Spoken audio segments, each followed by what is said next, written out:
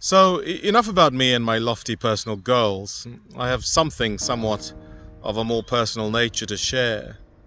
You see, there, there are about three or four beneficiaries that I'd like to uh, talk about and highlight um, about how I'd like to help them if this project uh, surpasses my my own career dream of obviously you know doing well, recording with an orchestra, etc.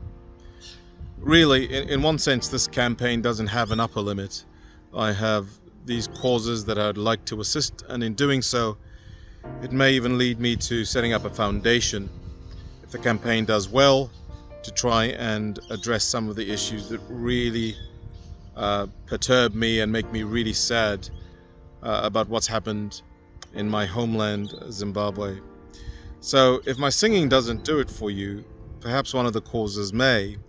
And in fact, with the campaign, there's an area where you can just support me without receiving any kind of reward. Just, it's basically saying, good on you, good luck, I support you, hope you do well, but don't give me anything for it. Um, I don't expect too many of you to do that, but um, of course, if I surpass my initial goals, it will enable me to do so. Anyway, the first of these is called the Mumvuri Project, which is in Zimbabwe. This is really an orphan shelter that helps children who've lost their parents have a fair go in life.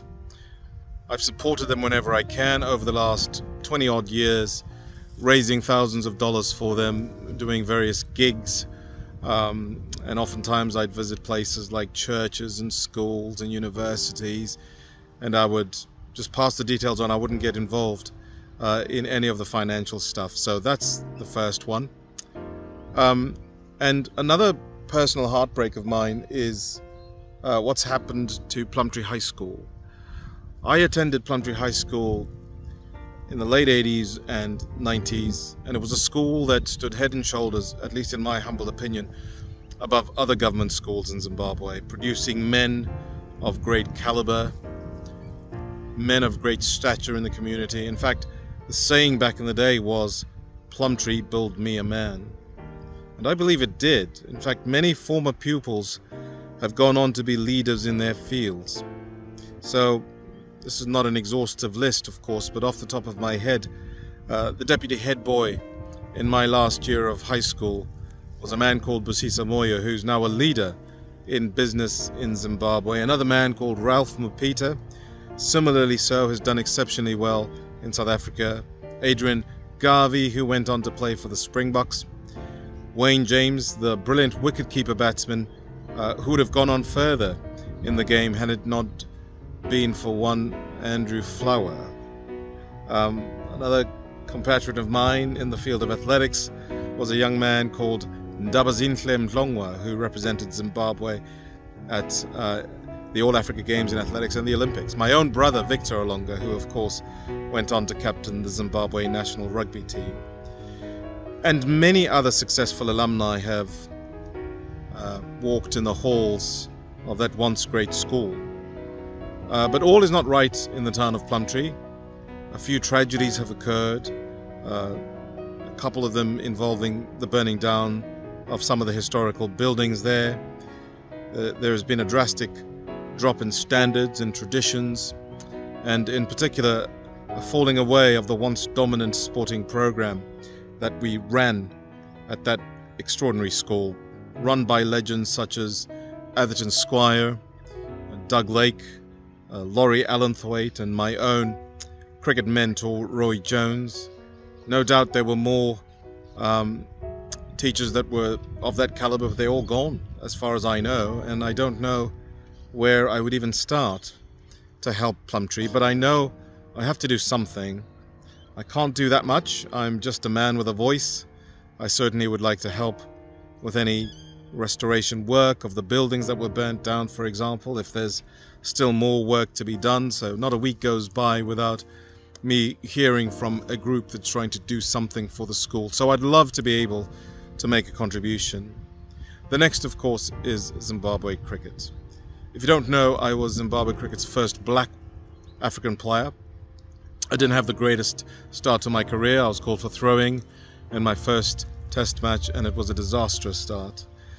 Thankfully, Um, the ICC, the Indian cricket uh, authorities, the Australian cricket authorities, and South African cricket authorities all rallied uh, around me or behind me to help me rebuild my action and return to competitive competition.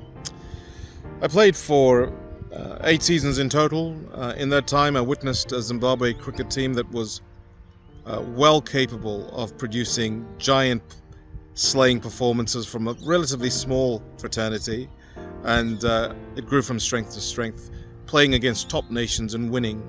I played along some, uh, alongside some incredible players in my era, and we slew some great teams. So India, Pakistan, England on our day, many others. I, I recently watched a video online where someone had gone around the lost and forgotten club sides in the country. Most of them were in a state of non-use and uh, a state of disrepair. And to say it, it, broke my heart would really be an understatement. Um, to see the legacy of what was built disintegrate to wreck and ruin was truly sad. Um, a lot of the grounds don't have curators or groundsmen. A lot of the pavilions are deteriorating, and it was just terrible. We once had a, a vibrant club cricket competition which fed into the provincial structures uh, and then into the highest levels uh, of international representation. And it all starts at the grassroots, so I would love to help there too if I could. I mean, I have no idea how, like I said. Um, but if you want to see Zimbabwe cricket in its rightful place, I, I want to somehow help on the journey of restoring our once great cricketing tradition. Again, like I said, no idea where to start, but you know, any donations that come our way to start that journey are, very welcome. So thank you, uh, the the generous public that love cricket and would love to see Zimbabwe back in its place. I guess a practical example would be to just even try to refurbish some of the pavilions and also repair the irrigation systems or pay curators, groundsmen to or train them to get the necessary skills. I must say I do find this a very strange idea to want to help my homeland because I didn't have or receive the greatest treatment towards the end of my career. Um, but after 20 years, I feel that I'm starting to feel a sense of responsibility to take a stand and not allow Zimbabwe cricket to continually uh, deteriorate. So we've missed out on so many World Cups in recent times, and now I think it's time we did something to, to get back to where we should be.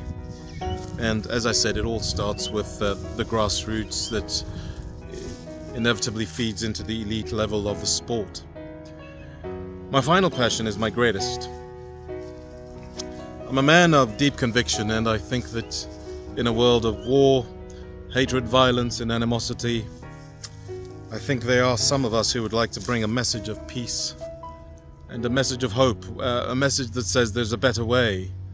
There, there's a better way to treat each other and to work together. In fact, I wrote a song many, many years ago called Our Zimbabwe that tried to bring a message of hope and reconciliation and trying to get people to work together without all the angst.